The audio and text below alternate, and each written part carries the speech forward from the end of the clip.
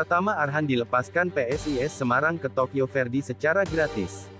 Menariknya nilai pasar Pratama Arhan sejatinya sangat tinggi, bahkan di Tokyo Verdy harga pasaran pemain berusia 20 tahun tersebut membuatnya masuk ke dalam 10 besar pemain termahal di klub tersebut.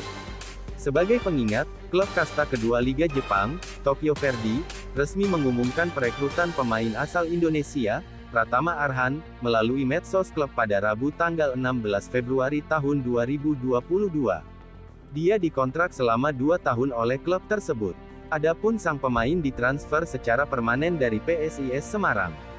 Pria asal Blora, Jawa Tengah, itu akan mengenakan nomor punggung 38 di klub tersebut. Kabar ini lantas mengejutkan pecinta sepak bola tanah air. Arhan dijadwalkan berangkat ke Jepang pada Jumat tanggal 25 Februari tahun 2022. Ini akan menjadi pengalaman pertamanya berkiprah di kompetisi sepak bola luar negeri. Sang pemain pun diharapkan dapat menampilkan performa terbaik di sana. Menariknya, pemain muda terbaik Piala AFF 2020 itu memiliki nilai pasar yang tidak kalah besar dengan pemain lain di klub tersebut. Bahkan, Arhan ternyata masuk 10 besar pemain termahal milik Tokyo Verdy. Dilansir dari situs Transfermarkt, pria berusia 23 tahun itu bisa dikatakan berada di posisi ke-10 dalam daftar pemain dengan nilai pasar terbesar di Tokyo Verdy. Hal itu dapat terlihat jelas dalam daftar skuad Tokyo Verdy pada musim depan di situs tersebut. Sebagai informasi, Pratama Arhan memiliki nilai pasar sebesar 325.000 euro, 5,2 miliar rupiah. Jumlah itu tergolong besar dibandingkan dengan pemain lain di Tokyo Verdy. Adapun pemain termahal di klub tersebut bernama Rihito Yamamoto. Rihito sejatinya masih berusia 20 tahun.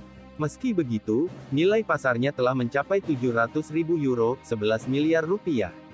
Pemain yang berposisi asli sebagai gelandang bertahan ini merupakan pemain vital di Tokyo Verdy.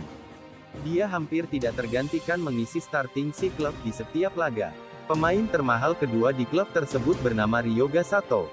Pria berusia 23 tahun itu memiliki nilai pasar sejumlah 600 ribu euro, 9,7 miliar rupiah. Pria yang berposisi sebagai striker ini memang tampil begitu produktif bersama klub musim lalu, sehingga wajar dia memiliki nilai pasar yang tinggi. Arhan menempati posisi ke-10 dalam daftar pemain termahal klub. Meski begitu, usia pemain asal Indonesia itu masih muda. Dia diyakini masih bisa berkembang dan mengalami peningkatan nilai pasar secara signifikan di masa mendatang.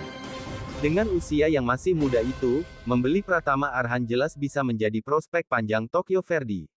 Meski memang kontraknya berdurasi dua tahun, bukan berarti takkan diperpanjang jika Pratama Arhan sukses tampil gemilang saat bermain di Jepang.